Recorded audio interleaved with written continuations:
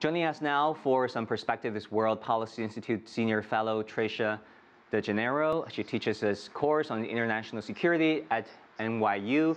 Uh, she joins me now via Skype uh, from Virginia.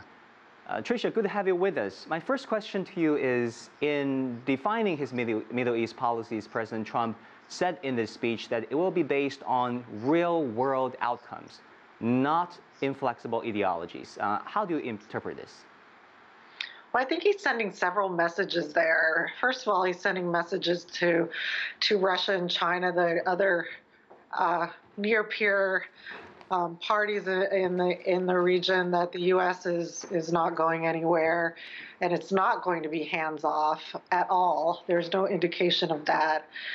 Um, you know, and I think his speech kind of showed that. Uh, also, he's entrenched himself more in Saudi Arabia, basically saying, "Look, you know, we're going to we're going to stick to the policies we've been sticking to, but you have to also take your part in preventing some of this religious spread of religious ideology." And I think he gave Iran a little bit of that as well. But it was kind of interesting to me that you know, he, he had this peaceful speech about no, you know, religion and, and ideologies, yet he you know, condemned Iran um, for things they're doing in the region, which the Saudis are, are probably equally responsible for. And in addition to that, he signed uh, uh, one of the largest arms deals with Saudi Arabia. And I don't think that that shows an indication that the U.S. is really talking about any kind of peace. So, His realities seem to be military.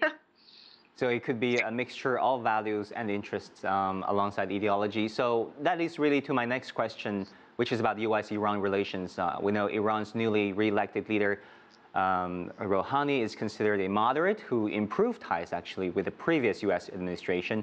Now with Trump's uh, very harsh rhetoric, do you think there could be a missed opportunity for U.S. and Iran to improve relations? Absolutely. There's going to, you know, I mean, I think Trump, Trump is playing, President Trump is playing several several sides to this this game or or this card. And I mean one one is that he continues to honor the agreement with Iran and lifting, you know, sanctions step by step. And the other is he's threatening Iran if they don't behave and I think or behave whatever if they don't do exactly what we're telling them to do, which again is contrary to his speech. But you know, I mean, I think when it comes down to it, we are missing opportunities with Iran. I mean, they're a country that's moving forward quite quite rapidly.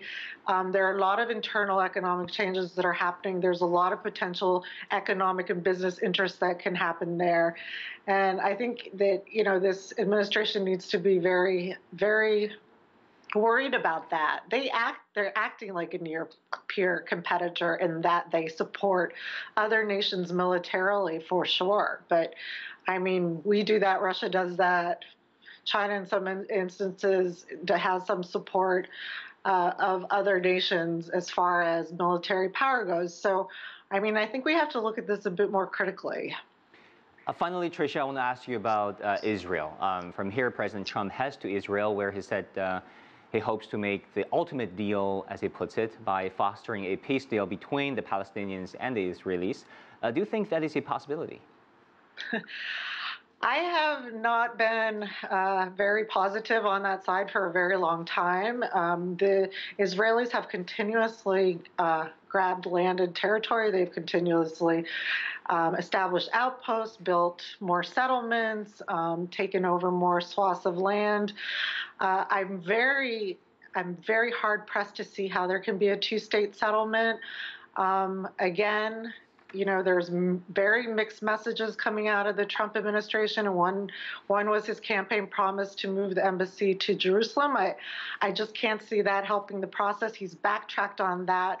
But unless he can get some good concessions from the Israelis and find out ways that they can feel more comfortable, or this and and their administration right now is fairly hard hard hard right as well.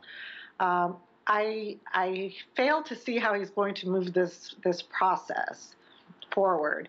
He may have used the the military and the defense deal with the Saudi Arabia to kind of push Israel a little bit um, as far as the balance in the region, but that that still remains to be seen.